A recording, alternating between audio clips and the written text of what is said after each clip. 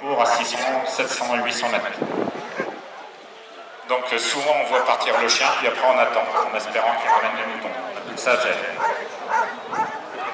Il faut avoir confiance dans le chien.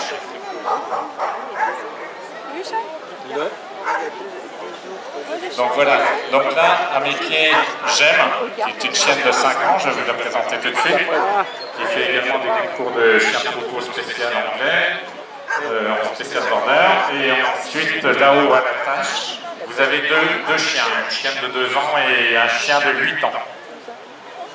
Voilà, on va prendre la petite chienne de 2 ans. Vous voyez, elle court au travail.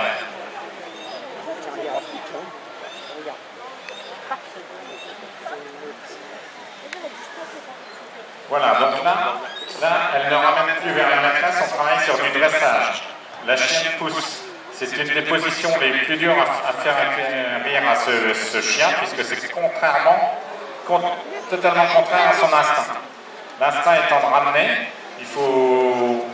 Ce chien a été développé sur le type de, chasse du loup, c'est-à-dire que le loup dans la nature chasse toujours pour, un chef de meute et ramène au chef de meute. Et là, vous voyez, on est contraire on, oblige la chienne à pousser les troupeaux loin du chef de meute. C'est du dressage pur et dur.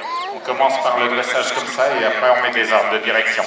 Un border collie peut accepter grosso modo jusqu'à 40 mots, apprendre 40 mots sans difficulté, mais avec une dizaine on fait déjà de belles choses, c'est-à-dire des ordres de direction. On commence toujours, l'ordre principal étant le stop. Vous prenez jamais une Ferrari sans les freins, toujours savoir s'arrêter, c'est un principe.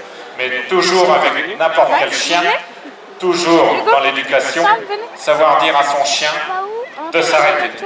Donc avec le border collie, il faut que ce soit précis parce qu'on emmène des troupeaux. Pareil avec les chiens. Voilà, donc toujours le même principe, le chien pousse et maîtrise le troupeau. Toujours du travail à l'œil, il faut éviter la morsure.